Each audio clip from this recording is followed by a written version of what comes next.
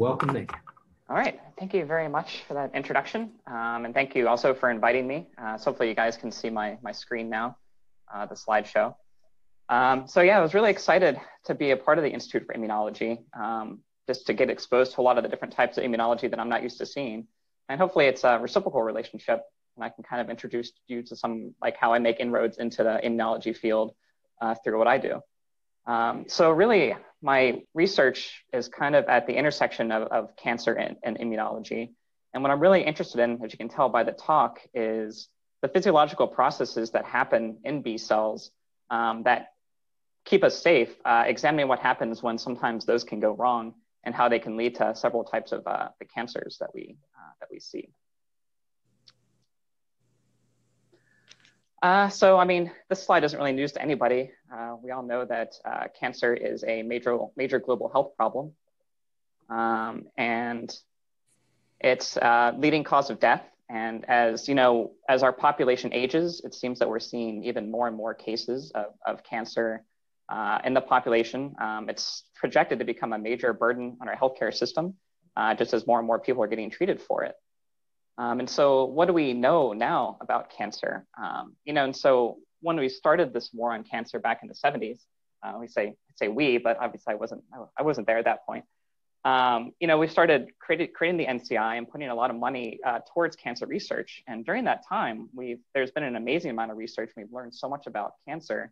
Um, but if you just compile all the different types of cancers that are out there um, and look at the mortality rate since 1975, you can see that we've only really seen about a 7.6 5% drop. Um, so of course, this is tallying all the cancers together. So we've made a lot of progress with some cancers, but other cancers have gotten more out of hand over that time. But if we compare that to something like, say, cardiovascular disease, where around in the same time frame, we saw more of a 70% decrease in mortality, we kind of ask ourselves, like, well, what's going on here? And why is it that uh, these mortality rates for cancer are not decreasing as much? And of course, the answer for that is that uh, cardiovascular disease is kind of targeting one, one system, uh, whereas cancer targets multiple organ systems, multiple tissues, and has multiple causes. So it's very much more a moving target and much harder to, um, to understand and to prevent um, and to treat as well. So we can see that just from here, um, cancer can affect almost every type of organ system uh, in our bodies uh, to varying degrees and varying, uh, with varying aggressiveness. So clearly cancer is a very uh, heterogenetic disease, um, but hopefully we can all at least agree that one common feature of, of cancer is that at the very heart of it, the very initiation step, uh, is usually a genetic change that affects the DNA. Um, and this DNA change leads these cells to become, uh, to change from normal cells uh, to become hyperproliferative cancer cells. And there's actually a number of different mutations that can occur. They can be very subtle, uh, such as single base changes or single nucleotide changes uh, to lead to missense mutations, nonsense mutations, or even frameshift mutations. Uh, or they can be very much more severe, uh, like chromosomal rearrangements. Uh, and these are the actual, the types of uh, DNA changes that I'm most interested in studying in my lab, uh, particularly chromosomal translocations. So no doubt we've heard of chromosomal translocations, um, particularly with B cell cancers. And as a way just, just to kind of introduce the topic, probably the most famous translocation is the Philadelphia chromosome, uh, which is a reciprocal translocation that occurs between chromosome 9 and chromosome 2. Uh, and just to kind of introduce what these translocations are, is essentially you have you have double strand breaks that are being created all the time in your cells, and our body is really efficient at repairing that, that those damages. Um, but what can happen in some cases is that you have a DNA double strand break that occurs uh, to cleave these chromosomes. And you can have two DNA double strand breaks occurring simultaneously on two different chromosomes. And most of the time when that happens, uh, you'll have the DNA repair machinery to repair these double strand breaks, so you end up with what you started with, uh, these two different chromosomes. But what seems to happen in some cases, we're not exactly sure why at this point, uh, we can get a translocation, which is essentially those chromosome arms swap. Um, and we end up with what we have here is this Philadelphia chromosome, uh, where it's a hybrid of chromosome 9 and chromosome 22. And for this particular disease, it's really interesting that the double strand breaks actually occur within two genes, so ABL and BCR. And when it comes together to form this uh, translocation, it actually creates this hybrid BCR ABL, uh, which is a constitutively active tyrosine kinase. And this is what drives this uh, particular cancer uh, to be hyperproliferative because it has this uh, kinase that can never get turned off. So of course, uh, hematopoietic malignancies are quite diverse. And what this pie chart here is just showing is all the number of different um, malignancies that, that can occur. Uh, in humans, the vast majority of these are all B cell based. Uh, there are some T cell uh, malignancies. Um, and if we consider the Philadelphia chromosome and how often that occurs in a lot of these diseases, we see that that particular uh, uh, chromosomal translocation is representative of mostly all the cases of, of CML, uh, where over 90% of those cases will have this translocation as a present. Um, but we see that kind of still leaves a lot of open area here uh, in terms of other types of genome rearrangements that could be occurring um, in these cells. Okay.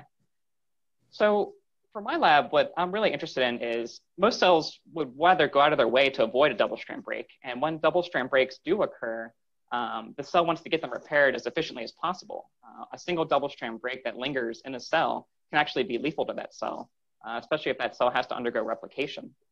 Uh, that's why I'm really fascinated by the biology of B cells. Because uh, as I said, while most cells avoid double strand breaks, B cells actually create double strand breaks in their genome. Um, and this is obviously a required process um, because um, two times during the development of B cells, double strand breaks are required uh, to diversify our antibody pools uh, in our bodies. And so what this is just kind of showing here is the progression of, of a B cell from a stem cell through the uh, pre-pro B uh, cell stage uh, to the mature uh, cells in our body. And it's during this process that we have things such as in the pre-B cells, we have VDJ recombination, um, that targets chromosome 14, uh, among other places, uh, the immunoglobulin heavy chain locus, uh, targeting the 5' region of uh, the IGH locus here to rearrange these uh, B, D, and J regions. And also in more mature B cells, we have a process known as class switch recombination that's occurring. Uh, and so these are two very different mechanisms with the same end that double strand breaks are created to rearrange these different regions. So why would our body do this? Um, I'm sure, you know, being in this group, you all know the answer to that is that if we didn't have this process, we wouldn't have a functional immune system to be able to fight uh, diseases like COVID or Black Plague or anything like that uh, in, our, in our cells. And so the process of VDJ recombination by rearranging these, the five prime end of the IGH locus, uh, changes this variable region of the antibody, so the heavy chain here on the inside of this Y, so that it can recognize several different types of antigens and then we have class switch recombination, um, which allows the antibody, uh, different antibody classes to be generated uh, depending on where the breaks and, and rearrangements occur uh, to allow for the coding of each of these different, uh, um, these different regions uh, for the antibody. So as you can tell from the talk, um, and as you'll see as the talk progresses, the major thing that I'm going to be focusing on is VDJ recombination. Um, there will be a little bit of talk about class switch recombination, but kind of only peripherally, only to explain uh, a few of the mechanisms that we're seeing uh, in our cells. Um, going back to this pie chart though, so if we know that these double strand breaks are being created uh, in, in these cells to, to create these antibody uh, pools that are necessary, we can ask again, how many of these different diseases have a broken IGH uh, at, as part of a rearrangement? And the answer to that is, is quite a few. Um, some of them much more than others. So you can see that, say, follicular lymphoma, um, over 85% of the cases have a rearrangement involving IGH. A large number of the diffuse large B cell lymphomas and mantle cell lymphomas um, involve IGH. So clearly, even though this process has over uh, millions of years of evolution uh, through different species has become very efficient, uh, things do go wrong sometimes. And when they do go wrong, they can lead to these different types of cancers.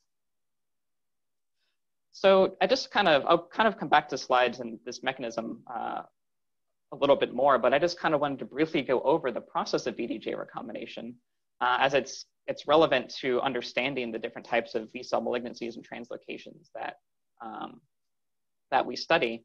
Um, and also just to kind of give you an idea of the different types of DNA double-strand break repair mechanisms uh, that we're focusing on in the lab. Uh, and so as you can see here, uh, VDJ recombination starts uh, with a double strand breaks that are created by the RAG complexes, so the react, uh, recombination activating gene complexes.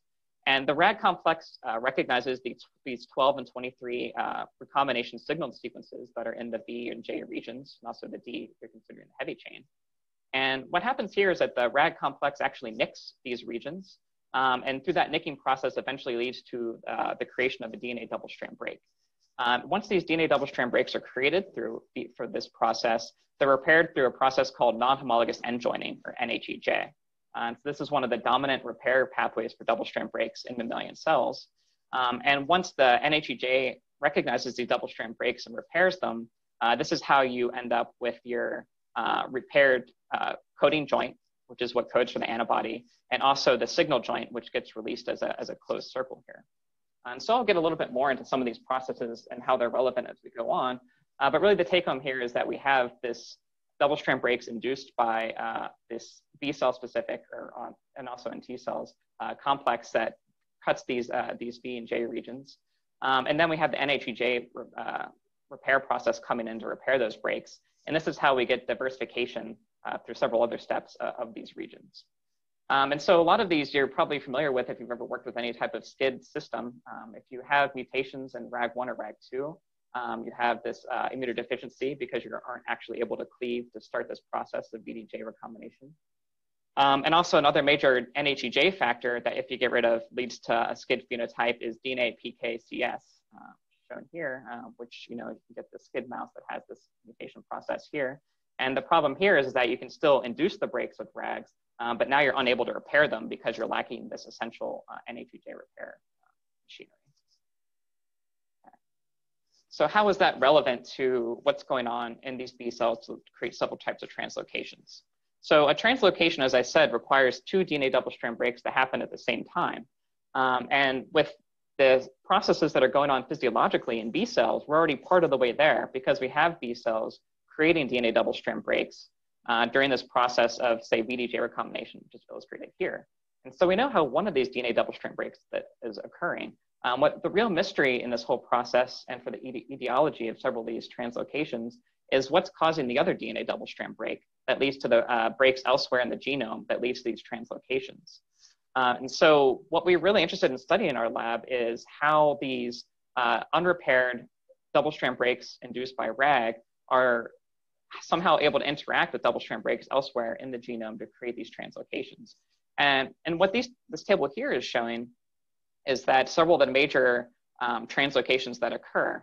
Um, and so actually by going back through and looking at patient samples, we're actually able to map, map where the translocation junctions occur. And for each of these situations, and each of these translocations, you can see that they all involve, well, except for this exception here, which I can get into at some point, um, all involve the IGH locus. And the IGH locus, specifically uh, rearrangements where each of these uh, different uh, chromosomes or DNA ends are joined with usually a J region from VDJ. And so the only reason, the only way that these double strand breaks could interact with this broken J region is if these translocations all occurred during uh, the pre-B cell stage when VDJ recombination is happening uh, because the expression of RAG is very tightly controlled. Uh, and so what's really important to, to, note here is that even though these are all diverse uh, genome rearrangements and have diverse cancers, the progenitor step uh, that leads to these translocations is actually happening in pre-B cells. And so even for some of these, um, these cancers that actually present in more mature B cells, what happens is, is that it's at this pre-B cell stage that the rearrangement happens. That cell is somehow is selected to allow to keep growing and it matures and it acquires more hits along the way to eventually lead it to become a cancer. Um, but the progenitor step and the prime step in these translocation uh, processes for a lot of these all occur during this VDJ. And we know that just by looking at the translocations that are present in, in samples uh, from patients. Um, so what else can we learn from that? And so the real mystery that we were trying to solve is, are the double strand breaks that happen at these other sites uh, outside of the IGH locus, are they random? Uh, or is there some event that will allow us to predict if they're, if they're going to happen in a certain region? And so in order for us to study that, we actually created a database of over 2,000 human translocation breakpoints uh, just to map exactly where the translocations are occurring uh, outside of the IGH locus, so the non-IGH uh, double-strand breaks. And what we found from just compiling all this data was really quite remarkable. Um, so if we just take the BCL2 region, to begin with, we can see that each of these lines here represents a DNA double-strand break that was mapped in a human patient. And we can see that um, these double-strand breaks can occur anywhere in this 29 kilobase pair region. But 50% of all the double-strand breaks occur in this 175 base pair region known as the MBR, or major breakpoint region. And so you can that's illustrated by this, this pinwheel here, showing that there's a large accumulation of double strand breaks in this relatively tiny region of, um, of BCL2. And we term, we call regions like this uh, human fragile zones because they seem to be bro- uh, prone to breakage. Um, and we've actually noted that there are several of them uh, when we compiled all this data. And so we can see that BCL2 actually has two uh, or three um, of these uh, fragile zones. Uh, so we have the, the minor cluster region and the intermediate cluster region. Um, and we can also note that another this MTC or major translocation cluster um, that is downstream of the cyclin D1 gene. Um, and again, here we see that uh, any of these double strand breaks can happen in this 340 kilobase pair region here, um, but a large portion of them are, all occurring in this 150 base pair region. So clearly what we have here is a case where there is a focal double strand break uh, formation happening. So this is non-random. Uh, and so the real goal was to understand what is the nature of what's causing the DNA double strand breaks uh, in this system. Uh, and I should note that uh, in contrast to what's going on with, say, the, uh, the BCR-ABL translocation the Philadelphia chromosome, the reason that a lot of these translocations uh, lead to a hyperproliferative state uh, also has to just to do with physiology, physiology of, uh, of the IGH locus, where um, these oncogenes, BCL2 and cyclin D1, this translocation actually puts them in close proximity to, say, the mu enhancer um, that, that is driving transcription at the heavy chain locus. Um, and that's likely what's causing these, uh, these, these oncogenes to be uh, dysregulated uh, and leading to them uh, not dying and becoming hyperproliferative. Okay. So what we have here is a case of double strand breaks. And so I should note that uh, these, these fragile zones that we look at, um, they're not conserved so that they're not present in mice. Uh, and mice don't have the same pattern of double strand breaks that we see. So in mice, we have a lot of breaks that are occurring outside of the IGH locus near promoter regions. Most of these human fragile zones are occurring in non-coding regions. Um, they don't really seem to be that remarkable at all in terms of what's going on uh, at the chromatin level. Um, but they also seem to be mostly break prone in B cells. And so that kind of limits our search about what could be going on here to processes that are relevant in B cells. And in looking for prime suspects of what could be driving these DNA double strand breaks, uh, one of the clear uh, enzymes that's present in B cells that could be um, likely causing uh, or causative feature is activation induced cytidine deaminase or AID. So this is a B cell specific uh, mutator, and it's most probably uh, likely known for the fact that in more mature B cells, you get very high ramping up of AID expression um, to drive processes like class switch recombination and also uh, somatic hypermutation to, again, generate the different antibody classes and to further, uh, further enhance the variable region to different antigens. But what studies have also shown is that there is some creeping uh, leaky transcription of AID in the pre and pro B cell stage when BDJ is happening. Uh, and so one of our hypotheses was is that it's this uh, leaky AID expression that just so happens to be occurring during the BDJ region that could be a culprit and leading to these translocations. Uh, and further evidence of that is here. So what's important to understand about AID is that one, it only acts on single-stranded DNA. So the DNA has to be single-stranded for AID to actually access it. And it also has a sequence preference. Um, and so the sequences that it really likes are these WGCW sequences, where it will deaminate the C uh, in the sequence, where a W can be either an A or a T. Um, and so it, it, hits these a lot. And if you look at switch regions, um, as I'll show in a little bit, um, that require AID for breakage uh, during class switch recombination, we see that those switch regions are really chock full of these WGCW sequences. Um, so while this is the most preferred one, we do see kind of a, uh, a sequence preferences for C in other contexts.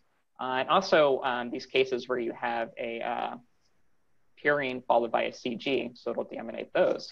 So if we go back to our patient data, so what we're zooming in here is the MBR at the nucleotide level, where each of these triangles represents a double strand break that was mapped in a human patient. Uh, we see that there's, even within this, uh, this focal region, there's even a further uh, focus of DNA double strand breaks within these three peaks. And at the center of each of these three peaks are these CG regions uh, that we feel are likely targeted by AID. So this gets us kind of part of the way there. So we feel like there's evidence showing that AID is uh, affecting these fragile regions. Uh, but again, since this DNA has to be single stranded, um, and CGs certainly aren't a unique motif in the genome, what is it about these fragile zones that's leading uh, to increased AI, AID activity and potentially uh, genome instability? So to get at that really gets at the, the project, like where I picked it up during my postdoc.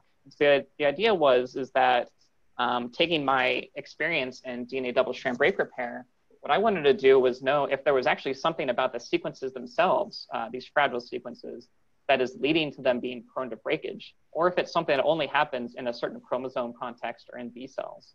And so the idea here was is that if I can take these fragile regions, since they're pretty small, take them out of the B cell and put them into a model genetic system, uh, so in this case, Saccharomyces cerevisiae, can we still measure instability specifically at these fragile zones? And if we can, that would indicate to us that there's actually something about the, the sequences of these human fragile zones that are uh, making them breakage prone. Um, and so what are some of these features? Well, we, we know that they are very highly, uh, the GC percent is slightly increased. Um, they have clusters of Gs. Um, they have, and we feel like uh, that, that, that part of it is probably what's leading to a lot of this instability.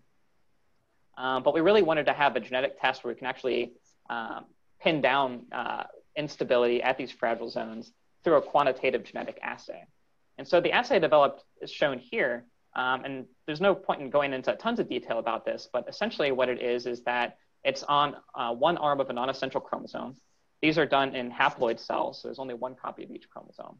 And essentially it consists of four selectable markers. Uh, and so this pink box here represents where we can insert the human fragile zone of interest. Uh, on the telomeric side, we have three markers uh, here, so URA3, CAN1, and CANMX4. And on the centromeric side, we have one marker, that's LICE2. So the idea is, is that by um, inserting a human fragile into this region, we can detect double-strand breaks at that fragile region by selecting for loss of these three uh, or telomeric markers and retention of this one centromeric marker here, indicating a double-strand break occurred uh, somewhere in this region that's sandwiched between these two markers. So as the first proof of, proof of concept that we can actually, uh, this assay would actually work is um, what we wanted to do is go to a region uh, as a part of DNA that in mammals that we know is uh, unstable um, in both bacteria, yeast, and, and in human cells. Um, and so this was kind of a positive control for this assay. And what this was, was looking at one of the class switch regions. And so what I'm showing here is that we're able to take um, 12 of the 44 repeats from the murine S gamma 3 switch, switch region. Uh, so that's shown here. So this is again all downstream of the VDJ on the 3' end of the IGH uh, region. And with the way these switch regions uh, work, I'm sure you're aware, is that double strand breaks created within the switch regions uh, lead to the rearrangements that will fuse these different uh, other regions together to create these different antibody classes. Uh, and what's been shown through previous research is that 12 of these alone is enough to lead to genome instability. And just to briefly touch on exactly how class switcher combination is working and how it's different from BDJ, they're actually very different mechanisms. Uh, I just kind of wanted to briefly go over it as it'll be relevant for some of the results that I'm going to talk about uh, in this assay. Um, but essentially what goes on here is then, again, it's very dependent on AID. Um, if you don't have AID, this process doesn't work at all. Um, and again, it depends on the fact that AID recognizes single-stranded DNA. And so what happens is you have transcription through a sterile promoter, meaning a promoter that doesn't actually encode anything um, through these switch regions. And these switch regions are such that they have a very high GC per, uh, uh, percentage, and they have these clusters uh, of Gs um, and Cs that are together. And the idea is, is that as transcription moves through here, um, creating this sterile transcript, it's uh, what can happen is, is that um, you get creation of these uh, structures called R loops. And essentially what an R loop is, is after you can imagine the transcription machinery went through here, instead of the DNA uh, re, to create a double-stranded uh, DNA, it actually interacts with the, uh, the, the, nascent RNA tail uh, from the transcript. And it's actually this RNA that re-anneals to the DNA, looping out this one strand of uh, DNA. Uh, and this DNA is very C-rich because the template here is very G-rich. And these Cs are prone to being hit by AID. So what happens, and these can be kilobases long, so very long structures. and so this presents a perfect target for AID where it has this long uh, single-stranded DNA structures that have these Cs in them. Uh, the Cs are generated are created to use uh, because that's how much you need deaminate a C. Um, and then what happens is the base excision repair process recognizes these U's And so you have the uracil glycosylase coming in to remove the U, leaving an abasic site, uh, which APE1 then cleaves the backbone, generating these DNA double-strand breaks. Um, and likely there's some small amount of single-strandedness on the other side, and it's through this uh, nicking of each strand of DNA that eventually leads to a DNA double-strand break um, and rearrangement of these different switch regions. Okay. Uh, so again, the process is much different than what's thought to be going on for the fragile regions, um, but does provide a nice positive control for a mammalian sequence that we know is uh, breakage, prone to breakage. And so that was the first sequence that we actually ran through this assay um, just as a test. And so what these results here are showing, just to kind of go through it a little bit, um, is that we express the results in terms of a double strand break rate. So this is the rate of double strand break formation from, from this assay. Um, and what you can see is that uh, it's quite a sensitive assay. And so the double strand break rate here is 10 times 10 to the 10. Uh, and so that means that the actual frequency here would be 1.8 times 10 to the minus 10. And so it's a very, uh, it's very sensitive to detecting these breaks. And if we just have a wild type uh, sequence here that just has transcription alone, but no fragile region of any kind, we see the vast majority of all the results uh, actually give us no recombinants at all. And so that's why all these, uh, all these dots are down here uh, at the bottom here. Um, we always get some outliers, um, but for here, we can consider each of these numbers here the median rate. And for here, the median rate is just quite, quite small. And so we use different mathematical formulas to kind of generate the rate in these cases. Uh, so the rate here would be 1.8. Um, but we can see that when we, one of the major uh, changes that when we just put the switch region in is that we see a dramatic increase in the double strand break rate. And so it goes from essentially undetectable uh, to uh, we get this 16 times 10 to the 10 uh, recombination or double strand break rate here. And we can see that almost all of the cells tested uh, resulted in some type of recombinant. Um, so as I said before, AID is uh, required for class switch recombination, and we can indeed see that when we express AID in the yeast cells, so this is a human codon optimized AID, uh, we see a further dramatic and significant increase in the double strand break rate uh, here, going up about another tenfold uh, due to the activity of AID in these yeast cells. So what this shows us is something important that we can actually take mammalian sequence and show that it is fragile um, in the yeast system and that it actually is following some of the same rules that we would expect for uh, what's going on in B cells, and the fact that we are seeing this uh, induction of double-strand breaks due to AID. Okay, so having established that the assay worked for that, what we wanted to do was take two of the fragile regions that we know of, uh, so the MBR and MTC, and then plug them into this assay. And so these were actually cloned out of human sequences. Uh, and so they have some flaking sequence. So it's this 338 base pair uh, region uh, contains the 175 base pair MBR, as well as some flanking regions here. Uh, and then we just, just literally plug that into the assay, um, again, with a uh, promoter upstream of these regions. Um, as I go into further detail at some point that um, it does seem that you do have to have some transcription going through these regions to see a lot of these effects, just to kind of get the DNA separated, um, these sites. And what we saw here was uh, quite different than what we saw with the switch regions. Um, so if we look here, this is, so the black is with no uh, fragile region, the blue um, is with the MBR, and the green is with the MTC, and this coloring is consistent throughout the rest of the talk. We can see that if we just look at the wild type cells, we don't see much of an induction of double strand breaks with just the fragile zones present at all. So it seems that they're just statically sitting there in the genome. They're not really leading to a large number of DNA double strand breaks. Uh, this is quite different, though, if we induce AID in the system. Again, we feel like AID is the prime suspect for what's driving the double strand breaks, even at the fragile zones. Uh, and again, we see this uh, 62, uh, or this, this large increase, uh, almost 30-fold increase in the double strand break rate with AID alone. Um, and when we express AID with MBR and MTC, we do see a significant increase, particularly with MTC. It's not dramatic, though. it's not the same that we had saw with the switch region. Um, but it is enough to kind of at least show that we are seeing some AID activity at, at these, uh, these regions, indicating that they likely are single-stranded at some point uh, during this process in the yeast system. But we wanted to see if there was a way to kind of ramp up the uh, effect at these uh, fragile zones. So one thing that we know to be important from previous work is that uh, not only, so we know that transcription going through these regions, uh, at least in the yeast system, seems to lead to an increase in double-strand breaks. So what's going on with transcription? So one thing that when you have a transcription uh, RNA polymerase 2 going through your DNA, uh, one of the things that that creates is torsional stress. And so as you're unwinding the DNA uh, ahead of the RNA polymerase II, um, you know, you're creating uh, increased uh, positive supercoiling. And behind the RNA polymerase II, you have uh, increased negative supercoiling as the DNA is a little bit looser. And so you thought that maybe torsional stress could be something that was really driving um, uh, these, these fragile regions to, to, to form into like kind of a, a non-B form structure that would generate increased single-stranded DNA if they were incre- if they were subjected to further torsional stress. Um, and this is this was based on results that we did with um, native bisulfite sequencing.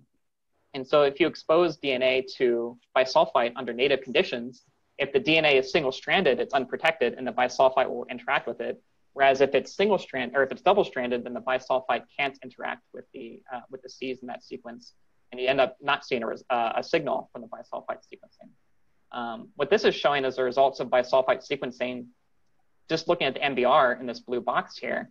And we clearly saw that if this was performed in a supercoiled plasmid versus a linear plasmid, that there was a clear increase in the uh, level of uh, bisulfite signal here, again, indicating that perhaps these fragile regions are sensitive to torsional stress. So in yeast, this is fairly straightforward to look at. Um, yeast, and like uh, most eukaryotes, have three different classes of topoisomerases. Uh, the two that are most relevant for this uh, conversation are TOP1 and TOP2. Uh, deleting TOP2 in yeast is lethal, um, uh, but deleting TOP1 uh, is viable. And so the idea here was that if we could delete uh, this topoisomerase 1 gene, it would decrease the cell's ability to deal with torsional stress and in effect increasing the torsional stress that we're seeing in these cells.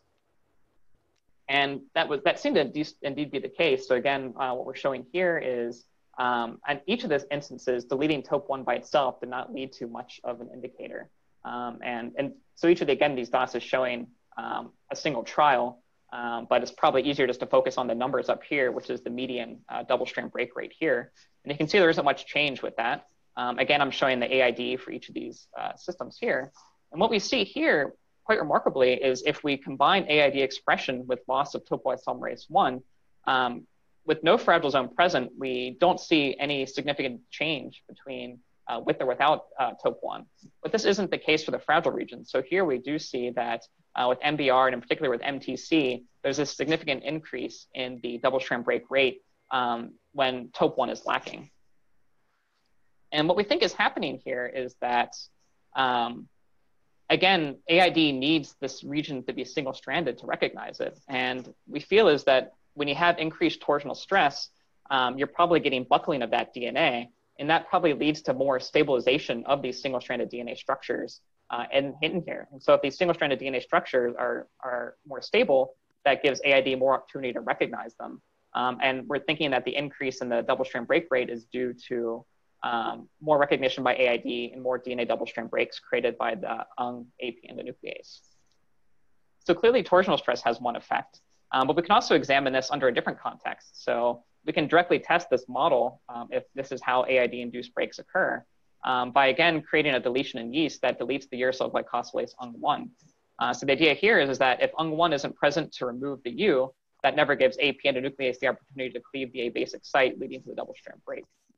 Um, and again, if we just look at the, uh, with no fragile zone here, we can indeed see the case. So UNG1 by itself does nothing uh, we see this large increase when we express AID, but that craters once we delete UNG1. So if UNG1 isn't present uh, for this process, uh, essentially AID has no effect, at least on double strand breaks. If you actually looked at the mutations that are occurring here, you would see that they would be skyrocketing uh, because you can't get rid of these U's in the genome. But at least in terms of creating DNA double strand breaks, this obviously goes down to almost what you see uh, with no AID expression at all. What was really surprising to us, though, was that if we looked at the same results um, in each of the fragile zones, this wasn't the case. We weren't seeing a drop off completely back to what we see without AID. For both MBR and MTC, there was a, still a significant number of double strand breaks being created in this context. Um, and so our question was like, well, what's going on here? Um, is it just possible that um, because these MBR and MTC have more regions that are recognized by AID, uh, is there something then weird happening to that sequence that makes, makes them be more unstable? And so our idea was is that if you get rid of UNG1 and you have these U's hanging out, um, you're going to end up with a lot of mismatches in the DNA. Um, and we feel that these mismatches are going to persist because there's no enzyme to get rid of the uracil in these cases.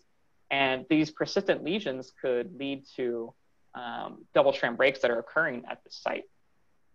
So in order to test that, we needed some type of a nuclease that was present in the system uh, that could somehow maybe cleave these persistent le lesions and lead to these double strand break phenotype that we're seeing. So how, again, just to briefly talk on how would this be relevant uh, to humans, because there aren't a lot of people walking around with an UNG1 mutation. Um, and the idea here is that these persistent lesions would be relevant because um, unlike yeast, uh, humans and most mammals methylate their, their genome. And so you have these methylated Cs that are present in the genome. And when AID recognizes a methyl C, it actually converts it to a T. Um, and these Ts are not repaired as quickly as a U in the genome. Um, so it could be that if persistent lesions are a problem uh, for double strand break formation, uh, that it could be related to the methylation state uh, of the fragile region, uh, which is something that we plan to explore further once we get more into uh, looking at these in, in human cells. So, but again, what we wanted to see is if there was a way to cleave these persistent lesions, and if cleavage of those lesions is, was leading to more double-strand breaks at fragile zones in this case.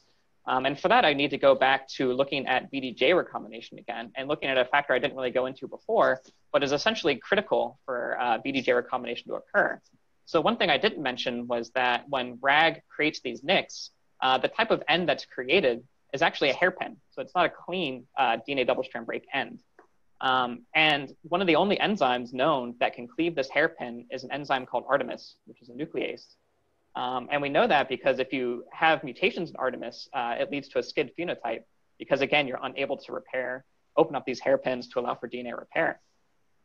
And so the way this process works, um, not only in BDJ, but essentially in all NHEJ, is that when you have a DNA double strand break that is created, one of the first things that happens is the Ku complex binds to that. So Ku has a high affinity for DNA double strand break ends, and it's highly plentiful in the cell. Uh, and so it binds to the double strand break ends to protect it. Uh, and the Ku-bound end is actually a substrate for this enzyme, uh, which I mentioned before, DNA PKCS. So DNA PKCS binds, and it actually autophosphorylates itself. Um, and, and this kinase activity then, after it autophosphorylates, uh, recruits Artemis to the site of the double strand break.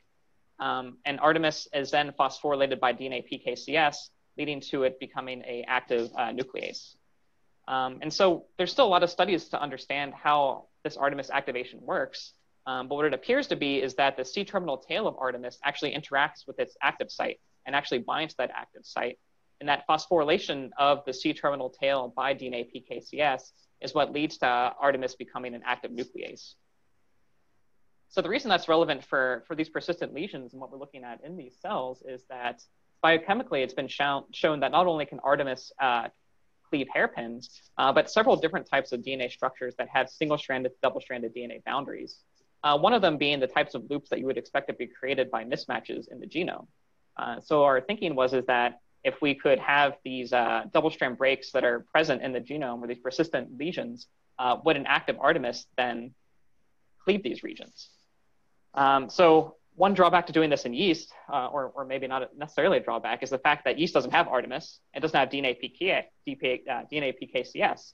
So even if yeast did have Artemis, it had, would no, have no way of activating it. Um, but what we actually found through biochemical studies was that you can actually create a truncated form of Artemis, uh, which we did, so this Artemis 413, which gets rid of the C-terminal tail. And what that does is essentially uh, remove the requirement for activation by DNA PK and allows you to have a constitutively active Artemis present in the genome. So the thinking was is that if we could have this constitutively active Artemis, would we then see a change um, with these persistent lesions? And um, interestingly, uh, at least in terms of the UNG1 AID, the answer was, well, yes and no. Uh, so again, if we combine uh, this Artemis, which I'm showing as A413 here, what we see is that that constitutive activity, at least with no fragile zone, does lead to an increase in the double strand break rate that's significant.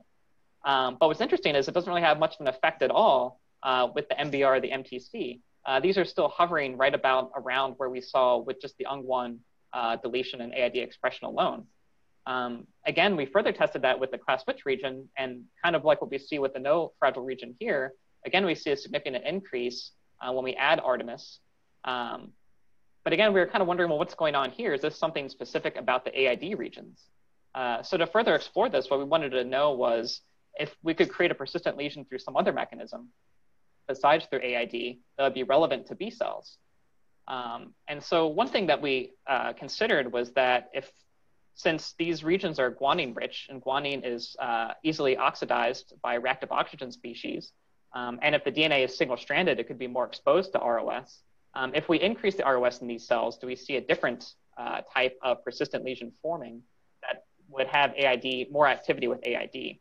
Um, and so we were able to do that in yeast by looking at a, a mutant, this TSA1. And so essentially all you need to know is that by deleting TSA1, we see an increase in ROS. And here we actually saw one of the most dramatic increases that's related to the fragile zones in our yeast system.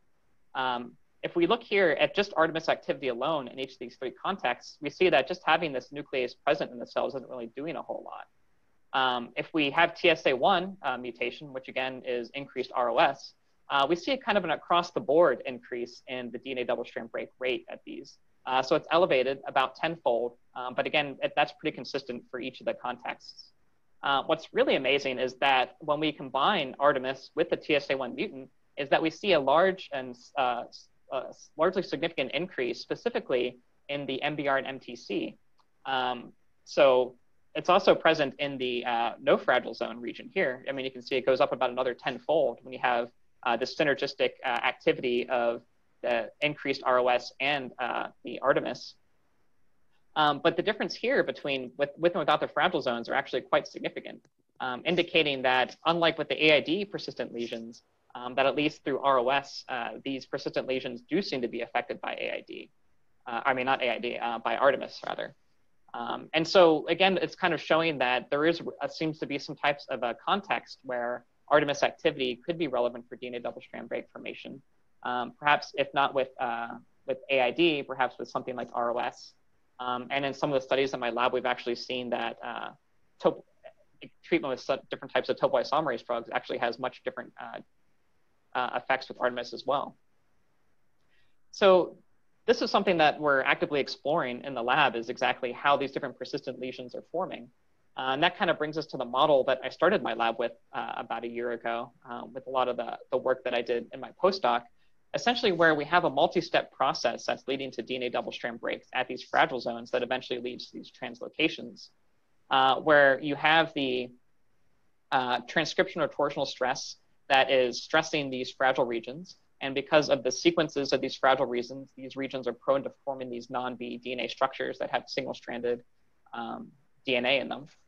Uh, then that moves to the next phase where the single-stranded DNA that's generated can be a target for different processes. So uh, in some cases, it could be AID that's present in the B cells. In other cases, it could be increased ROS, uh, both with the result that these would lead to persistent lesions that would be present, um, de further destabilizing those fragile regions. Um, and then again, these persistent lesions are cleaved somehow. Um, at least in the case of ROS, we seem have pretty good evidence that this is occurring through Artemis. Um, it's not as clear what could be happening at the fragile zones um, with AID, but it does it is clear that um, at least some of the persistent lesions created by AID are cleaved by Artemis, uh, leading to these DNA double-strand breaks. Uh, and so that's essentially the model that is the basis of a lot of the work that we're doing in the lab, uh, and kind of took me all the work up to where uh, where we currently are. Um, so now, what are we kind of doing to address this further in our lab currently at UCI?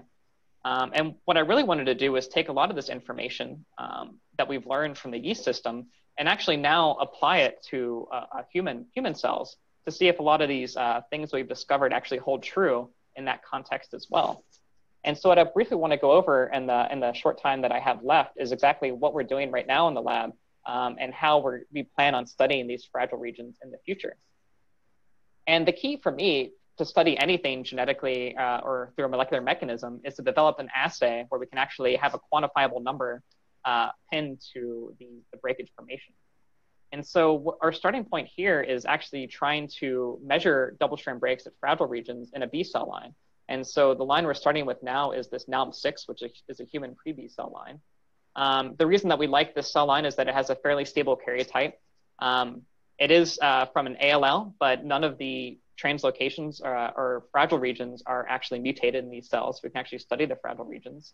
Uh, and also through a collaboration, several knockouts are available for different DNA repair genes. And so it's a really good um, system for that. The problem is it's not really a genetic system.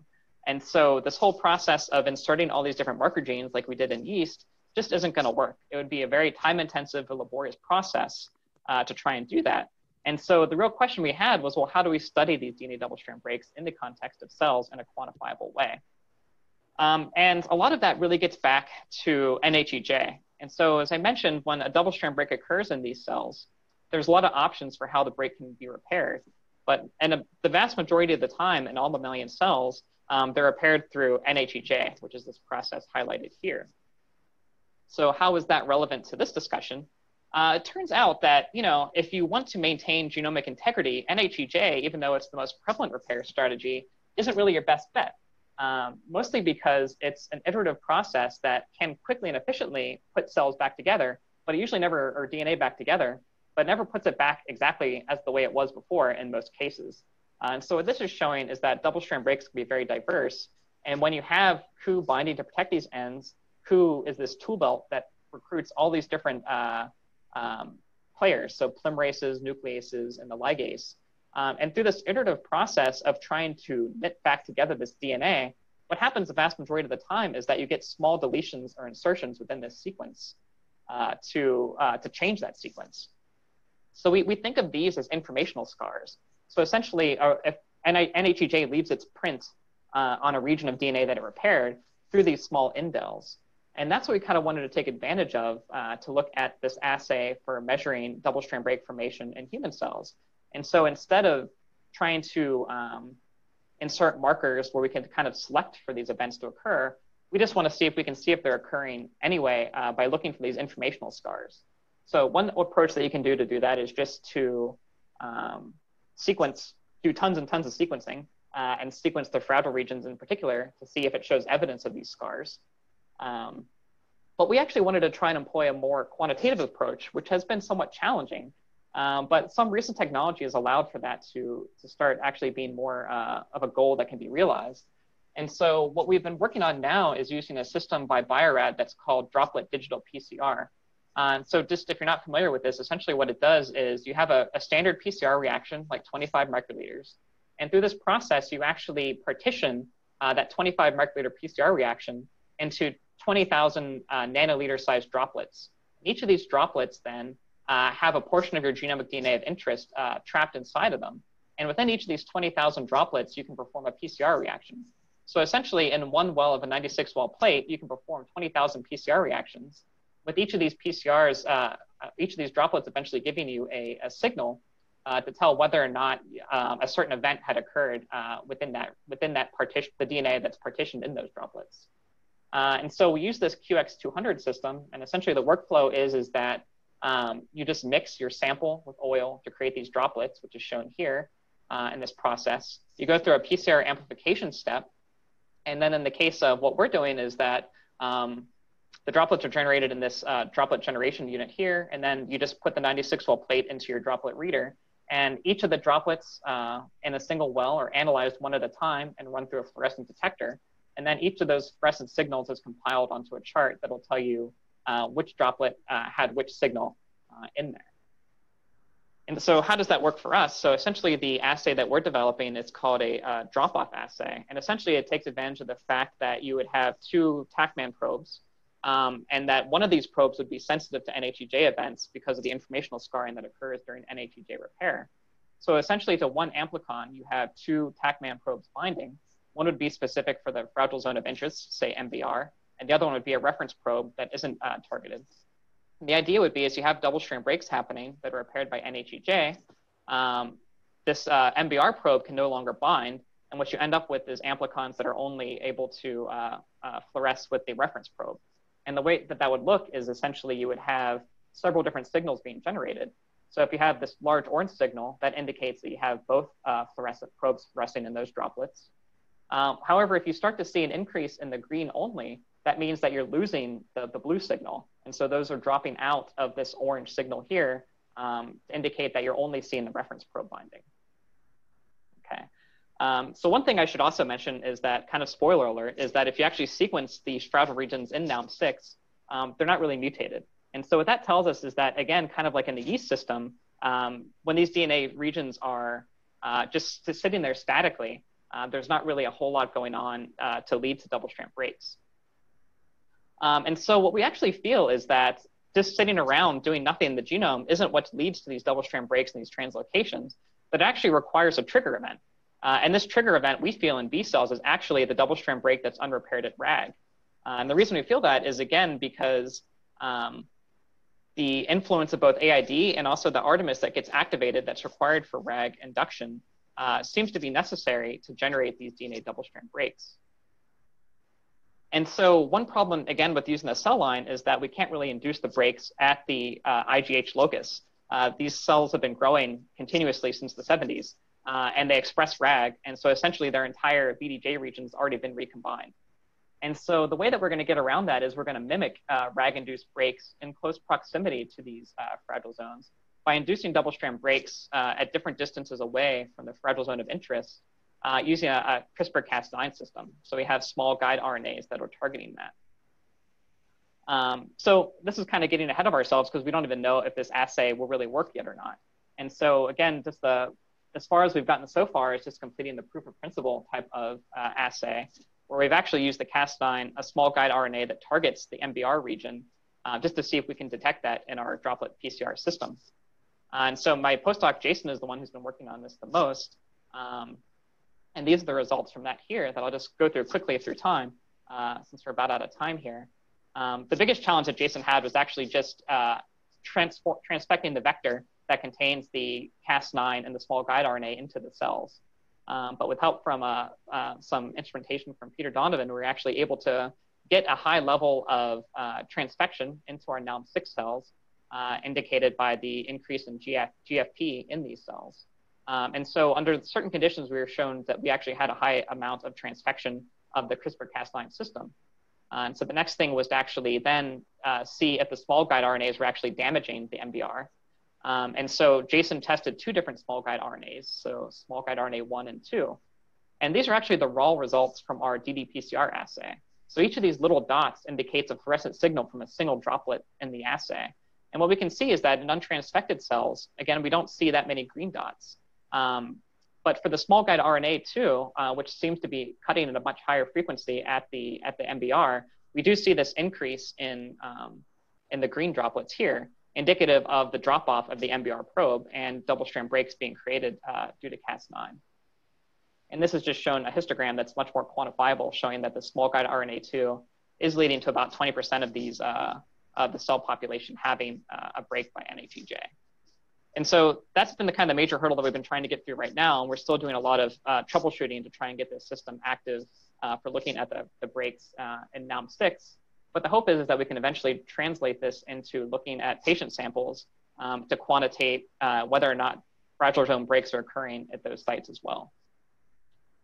Um, so then briefly, again, our model here is, is that we require this DNA double strand break that's induced at RAG we have low levels of AID expression that are creating U or, uh, or T mismatches in these cells. Uh, once uh, Artemis is activated by the activity of Ku DNA PKCS, um, these uh, persistent lesions can be cleaved. And we feel like this most likely is what's leading to these DNA double strand breaks that are occurring at the non-IGH sites and eventually the translocations. So with all of that, I'll just end and thank uh, everyone in my lab and all the people surrounding my lab who have been able to beg, borrow, and steal from to get a lot of the stuff up and running uh, in our in our system.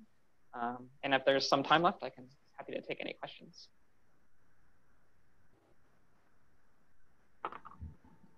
Thanks, Nick. That was really outstanding, really interesting story, uh, and uh, a model of molecular biology uh, in there, and some really cool techniques as well. I think we have time for two or three uh, questions. I'm not seeing anything in the chat, but please either add something or. Hi. Uh, uh, just, could I ask a question, Eric? Yeah. okay. Um, so I actually have like two questions for you. Um, are you worried about uh, basically like non-native AID expression in yeast introducing some genomic instability instability into the yeast so you're like missing some DSB events that you would normally pick up, only that you're introducing so much genetic instability in the yeast genome that the cells are no longer viable. I'm not sure like what the kinetics look like for that.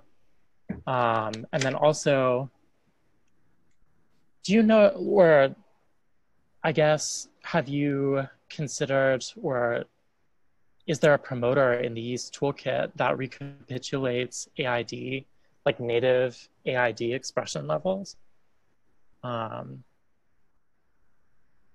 um, yeah, Zach, those are both really good questions. Um, and so, again, I mean, there's a lot of differences between obviously what's going on in yeast, and we have noticed mm-hmm. that the mm-hmm. AID activity um, is pretty prevalent in the yeast. And so it is possible that we are missing some events. Um, and so, especially since our assay selects for something very specific, the loss of that one chromosome arm, um, one thing that we feel is that that probably underestimates the number of double strand breaks that we're seeing already, mm-hmm, mm-hmm. where you probably have a lot of stuff where it just breaks and repairs several times before it actually cleaves off. Mm-hmm. Um, but one mm-hmm. way we've been trying to avoid a lot of those uh, artifacts is just that since we know AID is so effective, um, we only introduce it to the cells when we're actually testing it. So the hope is that we're not generating a lot of excess mutations within the cells. Oh, okay. And the other question is, is that the promoter we're using is like a, a really strong promoter in yeast, so this galactose promoter. And so that's AID expression is really uh, ramped up in, in these mature B cells, but it could also be if we used a more native motor that we could probably dial up or down those events uh, more or less in those cells. Yeah, I was wondering if you could like titrate AID expression to demonstrate that you get like, you know, a linear increase in DS, DSBs or, you know, potentially the kinetics are a little different. I don't know. Yeah, I think for sure. And there are there are um, some uh, promoters like that that you can even use in yeast where if you increase a certain level of a drug like this DOX, you see more or less transcription and you can actually mm-hmm. ramp it up at a very controlled rate. Mm-hmm. wondering, Nick, if you could talk a little bit about how this will apply, uh, a little more specifically, how would this apply when you're getting um, patient samples from Angela or from, from whomever, and how you would begin to uh, use these techniques to, uh, to, to find that association? How does it go? How, how yeah. I think, um, yeah, I think what I'm really excited about is the ddPCR again, because we can take these cells and unmanipulated and actually monitor them from for uh, for these uh, genome instability at these different fragile sites. And one thing I'm wondering is that we could look at different patients that say already have one translocation, like say a BCL2 translocation. And if our hypothesis were correct, then um, if a double strand break, if, if there was a break at a fragile region at BCL2, if all of these are occurring in VDJ cells um, at a certain time during these pre-B cell stage, we might see evidence uh, in those patients of instability at other fragile regions. And so if we have these seven different fragile regions, the question could be like we take a follicular lymphoma patient uh, that has the BCL2 translocation, is there evidence that there's instability to the other fragile regions? Um, as, and kind of say like, well, is that an indicator of the mechanism behind it? Interesting. Yeah, oh, that's great.